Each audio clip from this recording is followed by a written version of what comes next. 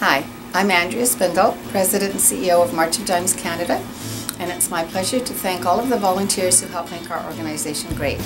So volunteers across the country who help us with fundraising and service, our board of directors, committee members, canvassers, those who actually work in the office to administrative assistance, and those who are helping our clients every day. I thank all of you and wish you a great day.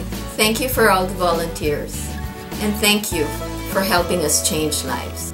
Thank you for sharing, caring, and all the volunteer efforts. Thank you for being awesome. Thank you for helping us reach higher. Thank you for helping us help so many.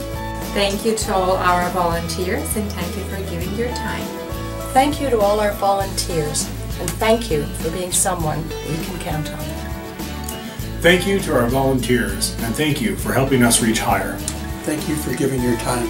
Thank you to our volunteers and thank you also for being you. Thank you for being someone we can count on. Thank you to all our volunteers and thank you for being you. Thank you for helping change lives. Thank you to our volunteers. Thank you for being someone we can count on. And thanking you for helping us change lives. I want to thank all the volunteers we have at March of Dimes Canada. We couldn't do the things we do here without your support and your time and energy. Thank you to our volunteers.